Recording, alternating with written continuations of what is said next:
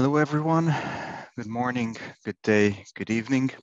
It's a pleasure to be part of this, and I'm happy to talk about how to build a structured toxicology knowledge base from unstructured data. I'm Daniel. I work at JT International at the Scientific Regulatory Affairs Reduced Risk Product Toxicology team. So let's dive into it. First, please allow me to use a quote uh, from Paracelsus, probably the most commonly used uh, quote by toxicologists in, in presentations. So all things are poison and nothing is without poison. Only the dose makes the thing not a poison. And this sort of sums up uh, the data challenge that we're facing. I mean, if you think of water, not something you would consider too toxic, and I'm not talking inhalation here, so oral route drinking it, it does have a lethal dose, even um, you know if you can't drink too much water.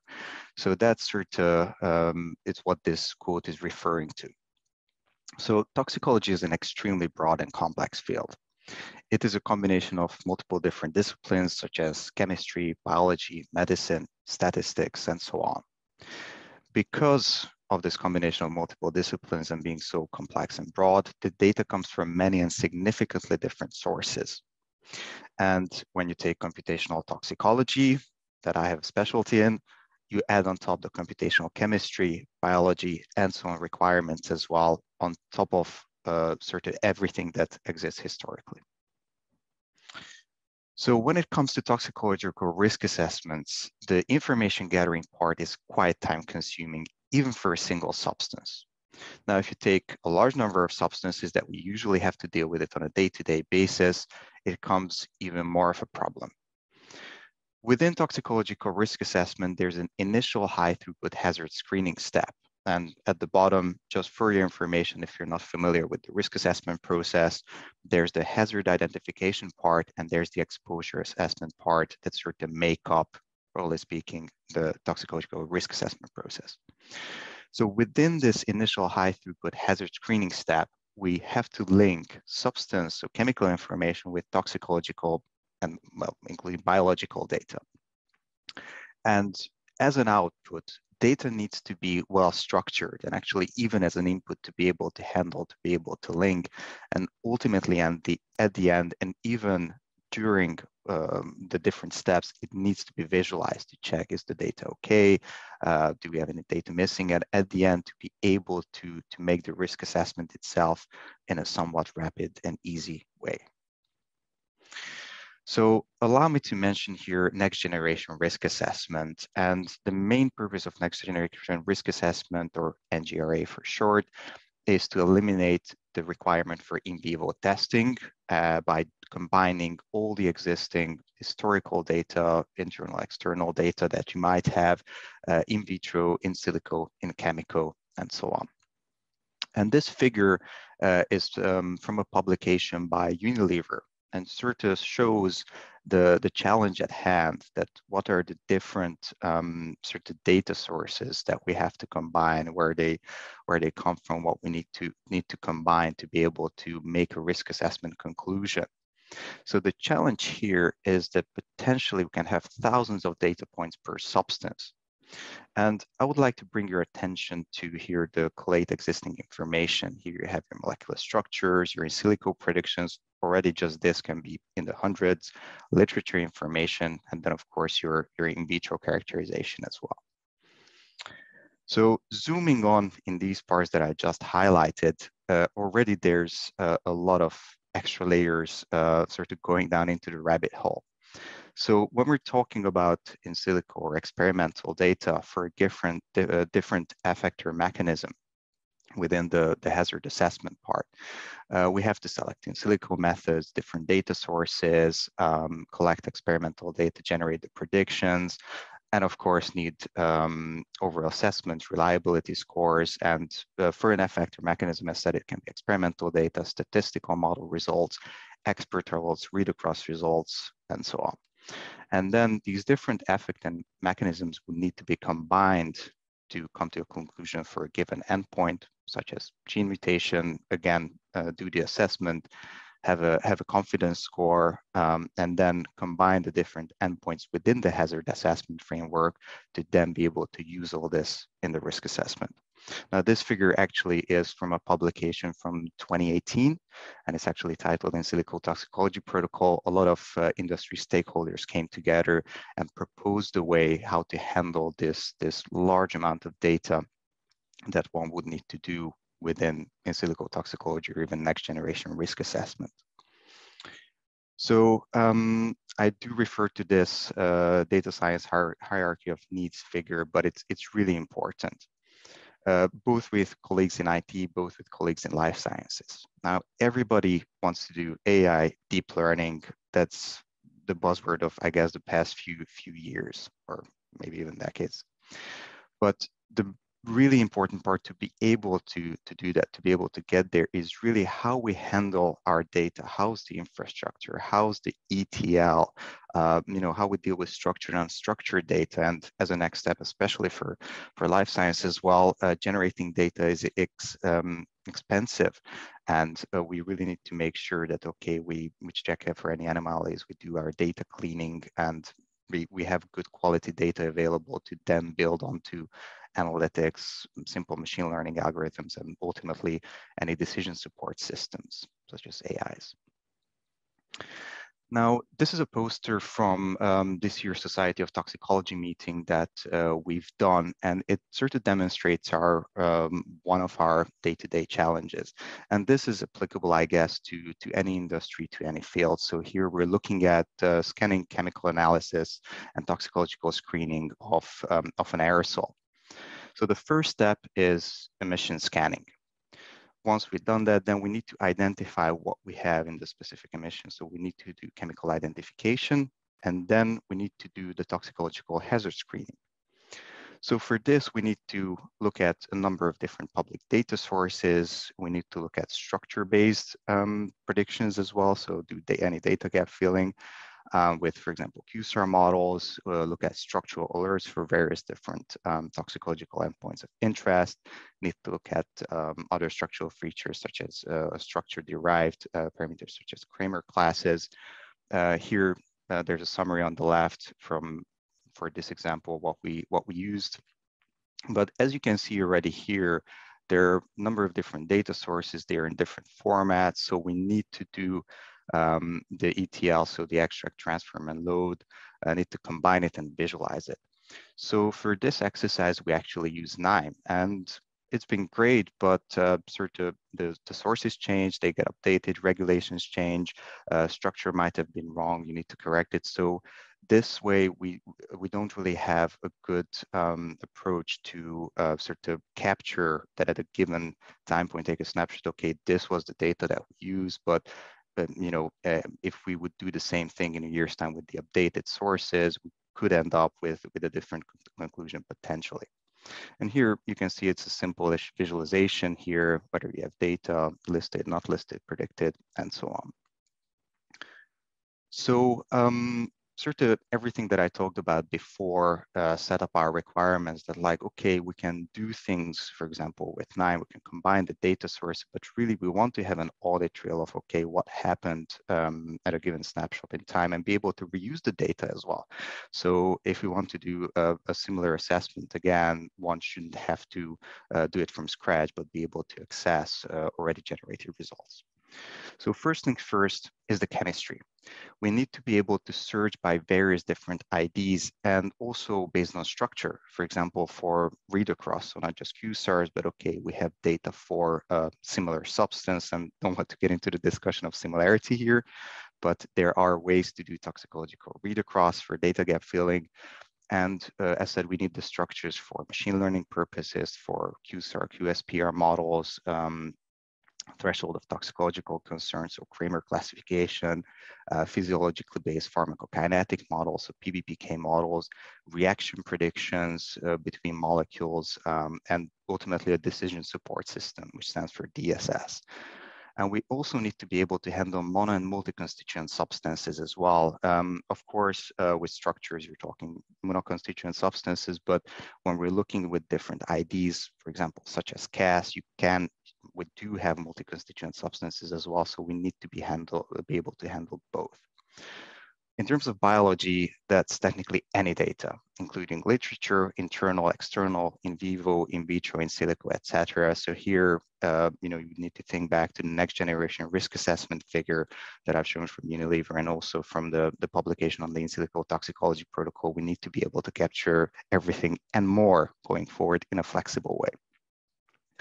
Now, search is, is really key, as I said, we would need to be able to access what has been done so far where we have data.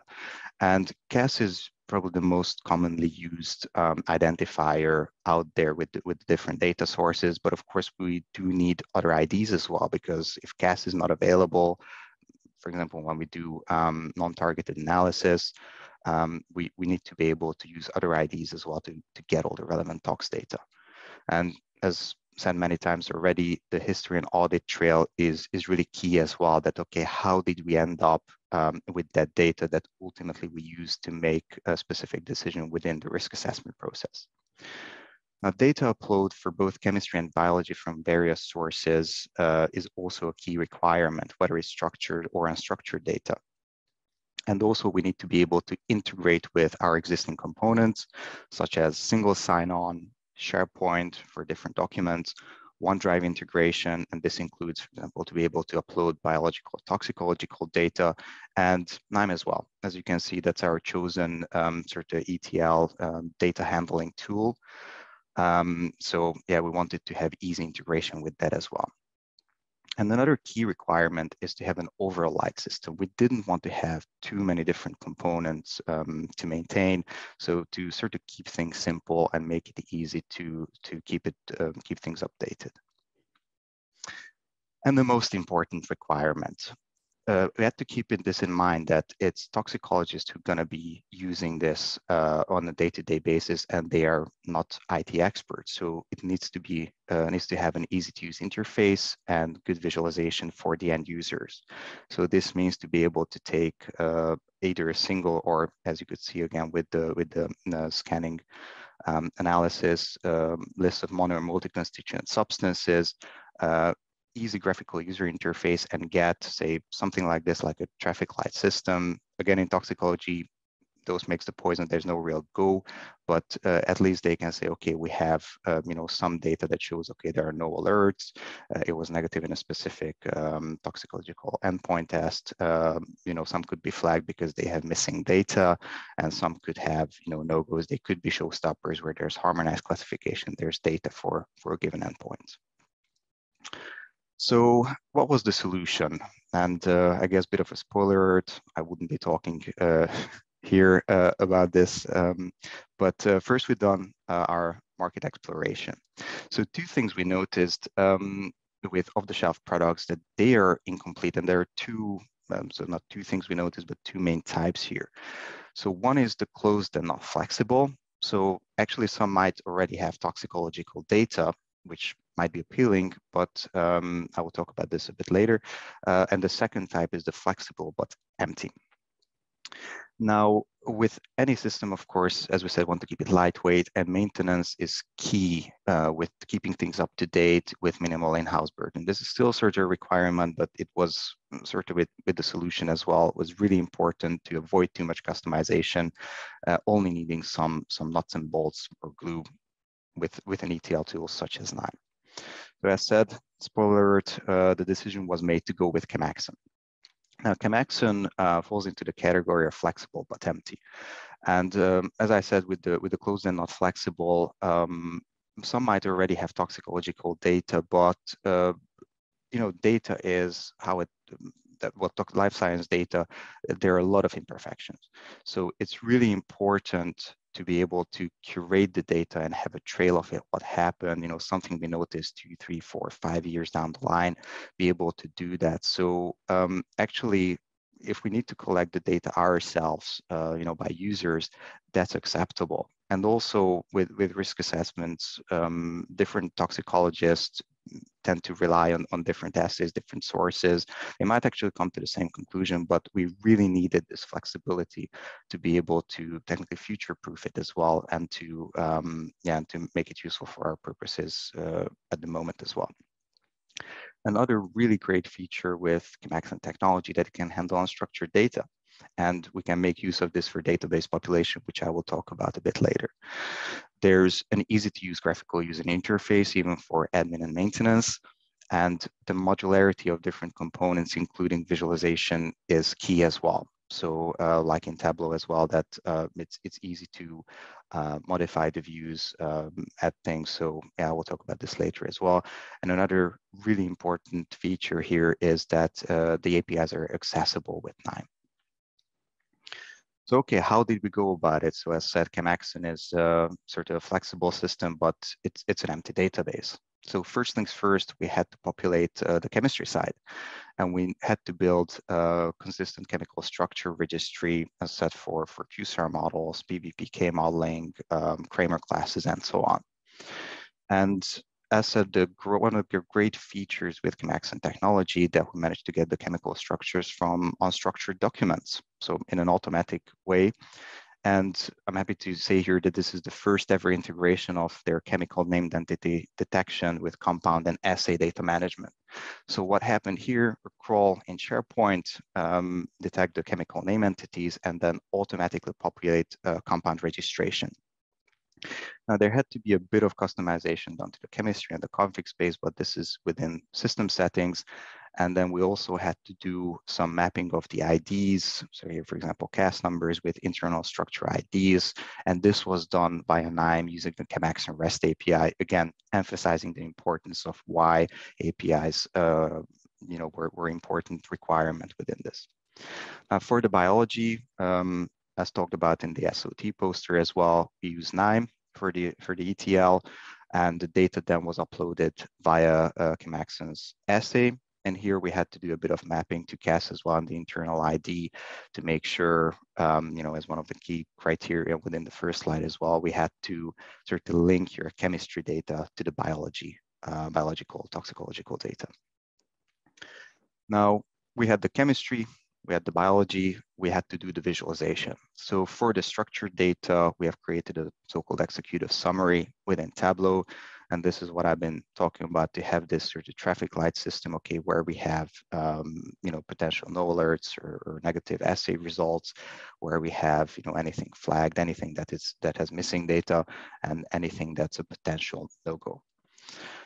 Also, visualization is really important for unstructured data. And this means um, within ChemLocator to have annotated document visualization in case we didn't have uh, data available within um, you know, the structured data visualization. For example, if you're flagged, a toxicologist can go and look within the unstructured data within specific documents that is there any, any data of use within the documents that have not yet been converted to, to structured data and also be able to um, visualize even documents or not visualize or be able to locate in documents where uh, document annotation is not available within ChemLocator, uh, the chemical name that entity hit list. And actually we use Tableau for this as well. And another mm, important feature as well, for example, in ChemLocator, to be able to look for similar substances that might have data. This is the toxicological read across that I was talking about. So uh, even if the specific uh, substance of interest or compound of interest is not present, um, you know, in a document, uh, toxicologists can look for, for similar substances that might be useful to, to be able to do initial hazard screening or even the risk assessment. So we have now a baseline system, data populated, what are the lessons learned and how are we going to be going forward? So let me talk about some of the great features. Um, I said many times, uh, the general graphical user interface is, is brilliant, uh, sort of doing the admin, doing the maintenance, the data population, it's, it's so easy to use. Uh, Marvin.js uh, for getting structures which are even not in the database has been great as well to be able to run some quick structure-based predictions, some data gap filling uh, without having to go through the whole registration process.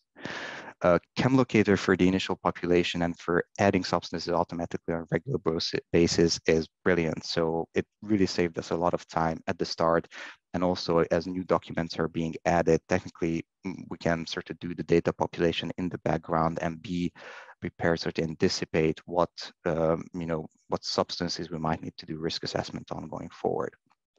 And um, sort of the biology part to the to the ChemLocator chemistry part. So the, the assay makes data upload quite easy as well. And as said, you know, we can just keep things up to date and anticipate, you know, potentially what uh, substances we need to do risk assessments on. Now, let me mention some of the challenges encountered as well, just for your information. So with ChemLocator, um, document visualization, document annotation sometimes is not perfect. Actually, the annotation part is is usually okay. The visualization, because you have different PDF formats, um, you know, it's it's not really ChemLocator's fault here, but uh, more, I guess, people not taking care when they are generating PDFs. And the other is the chemical name entity expansion. It so it's a great technology, but uh, don't expect 100% hit rate. It will miss certain things, but I know Chemaxon is working hard on this to sort of keep it updated and expanded uh, pretty much on a, on a regular basis. Another important thing is Tableau it's not really designed with uh, life science in mind, I guess, you know, with chemical structures uh, or handling multi-entries. In toxicology or again, general life science, you do have sometimes conflicting evidence and, um, you know, you would need to add specific conditional formatting.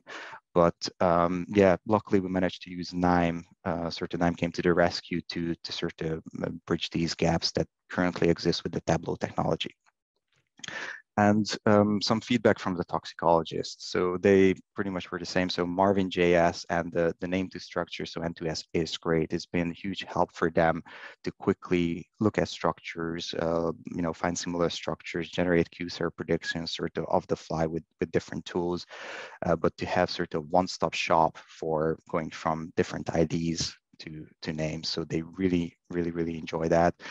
And uh, the other thing as well, I talked about different toxicologists do, do different um, sort of approaches within risk assessment.